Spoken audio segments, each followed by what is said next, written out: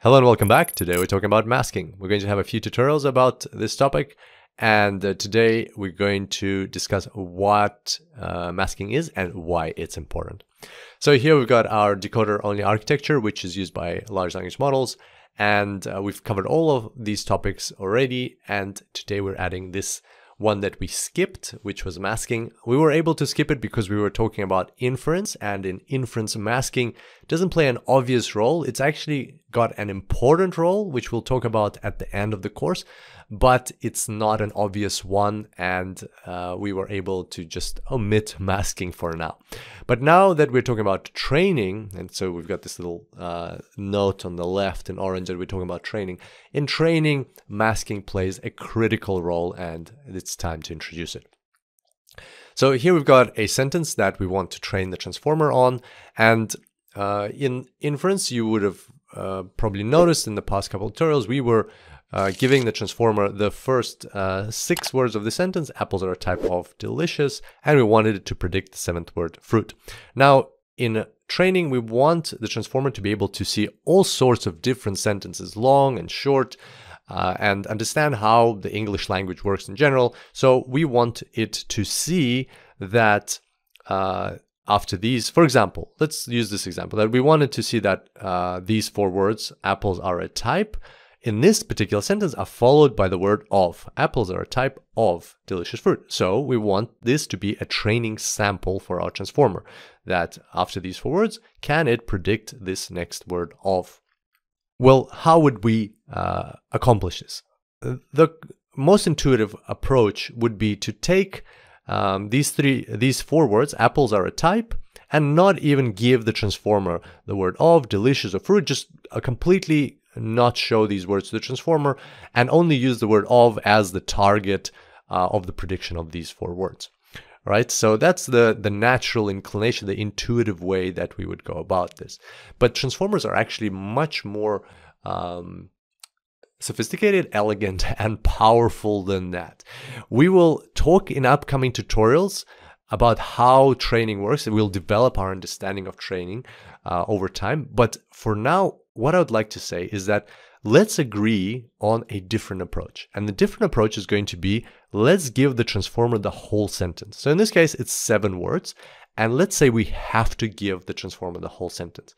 And uh, it's it's going we're going to understand why this is, is the case in upcoming tutorials. But for now, let's just agree that that's that is the case, and create an architecture that would still allow the transformer to train on, on this sample, even though it got a whole, a few extra words on the right. So why is this not uh, a very simple or straightforward um, approach or a straightforward situation? Well, uh, as we discussed, the transformer will take in the whole seven words, right? We're giving it the whole seven words. Uh, in this case, in other cases, it might be a whole 10,000 words. Uh, and we wanted to train on something that's not just the very end, but in the middle. And again, we will see how this pays off in upcoming tutorials and will be very, very cool. But for now, let's talk about what happens in this situation. Well, we can see that the transformer will have this uh, multi-head attention. And in the multi-head attention, the context-aware vector representations that we're going to be creating for these words, apples are a type, which we're using for our prediction of the word of, they're actually going to be able to look not just at each other, but they're going to be able to look ahead. They'll be able to look at the word of, at the word delicious, at the word fruit.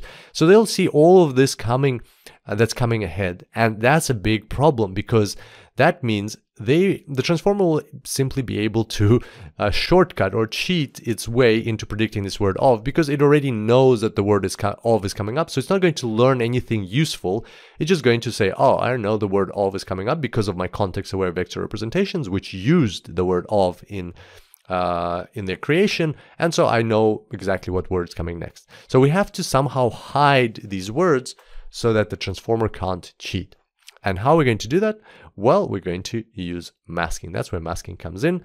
Uh, even though this whole sentence is going to be put into transformer, uh, in this tr specific training, when we're training a transformer to on these four words, and that this one is the fifth the fifth word that comes after them in this particular sentence, we're going to hide these with masking, and masking is going to be in this multi-head attention part. Hello and welcome back. Today we're talking about masking and this is part two. We're going to find out how masking works. So in the previous tutorial we talked about uh, what masking is and what critical role it plays in training. Uh, we agreed that for now we're going to uh, always give the transformer lots of words, even when we wanted to just train on four words and predict this fifth word, we're going to give it the full sentence, whether it's seven words or 10,000 words in a segment. Uh, we want to create this architecture and we'll find out why this is important in some upcoming tutorials. For now, let's talk about how this is accomplished. How is this um, architecture accomplished in uh, using masking in the multi-head attention? So we talked about multi-head attention previously. And here's a slide. Please refresh this in your mind if um, uh, if you do need to revisit it, please do in uh, the previous uh, tutorials. It will be very helpful in uh, the explanation that's coming up. And as you can see, in this case, we didn't talk about masking. It was uh, something that we omitted, whereas now we're going to uh, talk about multi-head attention again, but this time with masking. again, we've got this first part, which is the indexing part, and then we've got the part where we do the weighted sum. Okay, and uh, given that we've talked about this, this tutorial should be uh, quite a breeze. So we're going to focus on masking. Um, what are we going to look at? Well, as before, we've got the query key indexing, where we've got uh, the all of our vectors, which is which are in a 512 dimensional space. These are k vectors for each one of the words. Notice that we even have the words uh, like the future quote unquote future words, uh, which the transformer shouldn't see. So we're using the words apples are a type and we want to predict the word of and the words delicious and fruit and the word of shouldn't be visible transform, but still in the query, query key indexing, uh, so it comes this uh, this comes over here. We're still at the multi matrix multiply step. Uh, it comes before uh, the masking, so they're all available here. So these are the k vectors for each one of the words. And then we've got the q vector for the word type, which is um, this this happens for every single word. So what we're talking about now is going to be uh, done for every single word, but we're going to use the word type just as an example in our illustration. So then we're going to look at the dot products. For example, the uh, dot product of these two vectors is going to be uh, quite high simply because they're more or less aligned by the looks of it. Again, it's very hard to visualize a 512 dimensional space, but you know, for argument's sake, uh, these ones look uh, like quite aligned. As we remember, dot product uh, is the uh, multiplication of the absolute values of two vectors times the cosine of the um, angle between those two vectors. And in a 512 dimensional space, most vectors are probably going to be um, orthogonal or uh, perpendicular to each other, and therefore their cosine is going to be zero. So this dot product is going to be zero or close to zero. Um, so here are the dot products. As we discussed previously, normally what we would do with them in a simple um, attention mechanism without masking, we just put them through a softmax. Uh, so that these values, these dot product values, we would put them through a softmax function to get a probability distribution. But in this case, we want to use masking. And how does masking work on a mathematical level? Well, we're going to add a mask. I'm going to add a mask to these dot products, and the mask is going to be zero. So no mask, no masking uh, for the vectors that should be uh, visible so the first four words should be visible. Apples are a type, should all be visible uh, in this prediction of the next fifth word. And the other words that shouldn't be visible, they'll get a mask of negative infinity. So when you add that, you will get the dot products of the first four words are going to be unchanged. The dot products of the um, fifth, sixth, and seventh word, they're going to become negative infinity. And when you put them through a softmax, now that you've got these negative infinities, uh, you're going to get a probability distribution. So now we're moving on to step two, this matrix multiply, right? So we've got the dot product. The scaling, again, we're not going to focus on that too much. It just helps with stabilization of the uh, training. Um, masking is what we've just discussed. Then we're going to do the softmax, which we'd also just done. And then we're going to move on to the weighted sum over here. But here is uh, here are here's our probability distribution. As you can see, these vectors were masked. Uh, and these are the dot products, well, after the uh, softmax, that we get. Um, here, they could be zero. I just put them close to zero so that we can distinguish them uh, from the masked ones. So these ones are close to zero because, you know, maybe these vectors are not aligned, these dot products, and their softmax is therefore also close to zero. Um, and But these ones at the bottom, they're masked because uh, when you put uh, take uh, exponent of negative infinity, that's when you get a zero on the top over there. And we're going to multiply that by the v values of the vectors as we did in normal attention. Uh, and what we'll get is these um, vectors multiplied by the you know the probabilities or the uh, the, the components, right? So it's not necessarily like a probability distribution. It's more of a like we want it to add up to one, right? So when we apply the softmax, uh, it adds up to one. In some cases, it's a probability distribution to find out, you know, what's the most likely thing. But in this case, we're uh, um, applying softmax and we're getting these values that add up to one just because we want to do a weighted sum at the end and we want it uh, we want the the weights to add up to one. So that's where we're doing this weighted sum. We get the weighted sum of the vectors. These ones are masked, so they get zero. And in the end, uh, we are getting a context-aware vector representation uh, for this word type. Again, this is done for every single word in the sentence, uh, even the ones that are masked. The, this will be done for them later on. But for the word type specifically, um, because it's the fourth word, that means these ones are masked. If we were doing this for the word apples, then all of these would be masked. If we, this, we were doing this for the word delicious, then only the last word would be masked. So whichever word you're doing this for, the, the following words are masked, which is quite intuitive. So in the case of the word type, uh, its context aware uh, vector representation is going to, this resulting vector A is going to have the word type itself, obviously, um, the word apples, R and A, and a combination of them based on these weights. So there we go. That's um, how we get to this uh, masked uh, or this uh, resulting context-aware vector representation in a masked fashion. And uh, this way, it's all exactly how we wanted because this context-aware vector representation is not able to look at the future words. So when the prediction will be happening for the next word, which is the word of, uh, it's not going to have any information about these uh, future words. Hello and welcome back. We're continuing our tutorials on masking and today we're going to talk about the triangular mask. All right, so this is what we discussed in the previous tutorial about how masking works.